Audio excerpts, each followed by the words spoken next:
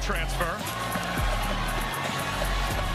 Now the starting quarterback in Tuscaloosa, but South Bend over a couple of seasons.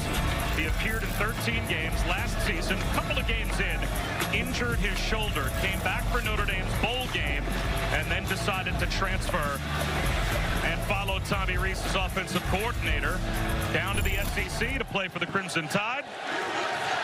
To everything. Buchner bullets one to the sideline, incomplete. He missed Jermaine Burton. The punt group starts to form up on the Alabama sideline. Just a little bit behind the receiver here by Tyler Buchner. Burton would have been, that would have been a nice catch if he made it.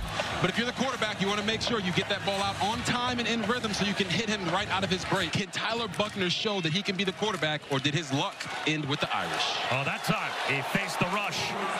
Tried to flip one to Isaiah Bond, but Jalen Stokes was right in his face and forced the wobbly release. Right here as a quarterback, you want to get a little bit of depth off that fake so that you can navigate the football over behind Burton on the last drive. You, you see some jitters here as Spont on a little bubble screen picks up a handful. This area of the game so far. Four-man rush.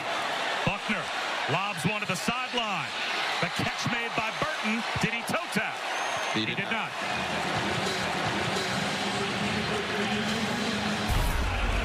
Jinx, by the way. We said it at the same time. You see right here, he needed to drag that toe. Wide receivers, when you get close to the sideline, know where you are, and sometimes you're going to have to fall, right? Take that tiptoe, catch the football, and fall on your face to make that catch. Tua Tagovailoa.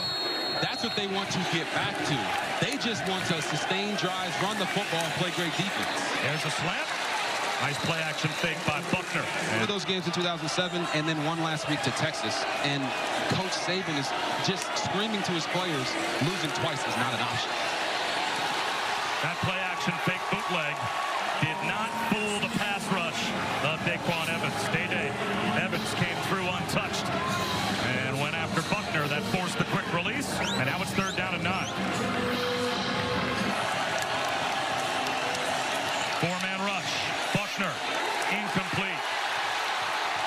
Well short of Ja'Corey Brooks. And it will be another Alabama punt.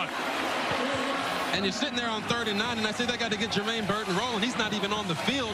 But now you're seeing a guy in Ja'Corey Brooks who we haven't seen really make any plays this year, but he's one of their most experienced wide receivers out there. They've got to figure out what quarterback, what wide. Play action for Buchner. He escapes. He's got running room. And dives to the 41-yard line to pick up eight. But they're putting pressure on him. They're going to run this dagger dig concept here and watch Tyler Buchner read the safety, but miss a wide open receiver deep down the field for a touchdown. And after a turnover, good job by Buchner getting vertical and getting positive yards. Screen and a diving attempt by Malik Benson. That's a quick throw by Buchner that was inaccurate. No gain down to Chris. You know, Bob, sometimes rather than having five drive stopping plays, we had about 15. You can maybe handle a handful during a game, but not 15 of them. And here's Buchner with a little dead leg move on third down to pick it up. He faked out Jalen Stokes.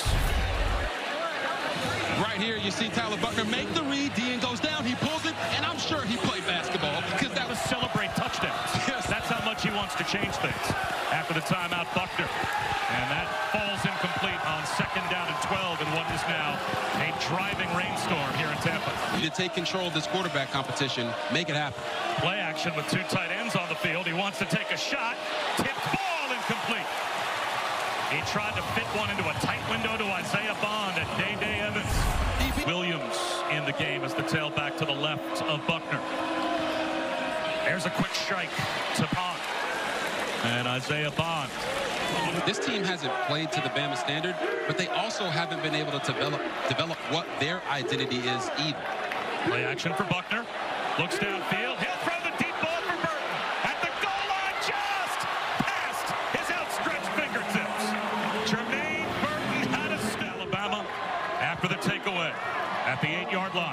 stays in the game to the left of Simpson. Simpson to throw. Here comes the blitz, and he's forced to heave it to the sideline. Floyd, intentional grounding. He really did. And right here, you're going to see as soon as he drops back, he knows he's in trouble, tries to get the football out, and, and does it convincingly and in the area of one of his wideouts. Down right here. What are they going to allow Ty Simpson to do? Simpson under pressure. Got your third quarterback in in three games.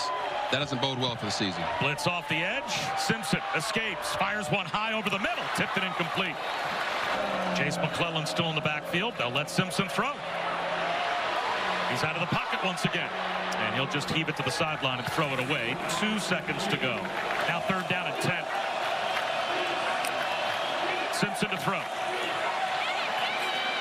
Hit from behind and sacked. The pocket collapsed. Jalen Stokes, the safety blitz, gets home. Why in this moment wouldn't you put Jalen Milroe back in the football game? Because he's clearly shown he gives you the best chance to win. Simpson screen misses C.J. Dippre. It'll be He starts to his name to respond like that in a, in a heated situation. It shows you who he is as a player. They should give him an opportunity to continue to develop. Ty Simpson. That's what he needed. Drops one into Dippre. An explosive play in the pass game for Alabama finally strikes. Finally, you see the play action, and look at this throw. That's like a heat-seeking missile right there from Ty Simpson to C.J. Dippre. Slip pass into the right flat. Reaching for the pylon is Robbie Ouzts. Out of bounds inside the one. Told us yesterday we will be very aggressive. We will go for it on fourth down. He was not lying. They've gone for it five times. The throw is Simpson. He'll be thrown down. Another sack. This one courtesy of Jason. Yes, the say he's a gritty, tough pass rusher, and right here, when he got his hands, I'll probably say, what the hell is this guy doing hitting me before the play starts? All of that erases the Vaughn sack on first down from second and 19 to a run and then a first down by penalty. There's another sack though. This one, Day-Day Evans bends the edge. And right here, you're going to see him coming off the edge, say, whoop, whoop, on the tackle. Speed always wins, baby. Ty Simpson's been getting beat up ever since he came into the football game. company. Dad has retired. They've sold their house and are moving down here to Florida to be with their son. And their defense is reflective, Chris, to this point with Josh Heupel and then Tennessee with Coach Heupel as well. And now taking over this program and forcing third down and 14 and bringing a blitz. Out of the pocket is Simpson. He's going to try and play quarterback run, and he'll slide well short of the first down game. Roydell Williams to the right of Simpson in the shotgun. Empties the backfield. Here comes a blitz. Over the middle. On time. Isaiah Bond. First down Alabama. Two new guys, and four of eight from Ty Simpson and five of 14 from Tyler Buchner isn't truly what they were expecting coming out of this game.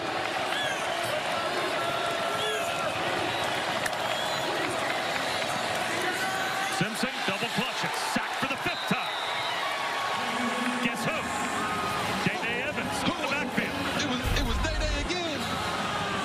Watch him. You're gonna see him right off the edge. Everyone in the stadium knows he's blitzing, and these big 300 and hit their pound offensive tackles just cannot block him. Alabama. I mean, it's third and 11. They clearly don't trust the quarterback right now, so Here comes the blitz again. And there's a down and out to Jermaine Burton, but nowhere near the first down. just got to find a way to come with an come up with an opportunistic play here on defense. Now Jam Miller in the game at tailback with the two tight ends. Running the opposite way, though, is Simpson. The quarterback gets sawed in half at the 23-yard line. But will they give USF a chance to get a stop? And there's the jump. And one at the six-yard line. And they need a miracle. They need the ball to pop free, you would think, to have a chance to win. Quarterback sneak, and that will put Ty Simpson across the line to gain inside the five-yard line for a first down with only one timeout left for USF. One of the hardest plays to stop in all of football, the quarterback sneak, because the Bulls have really shown themselves great today.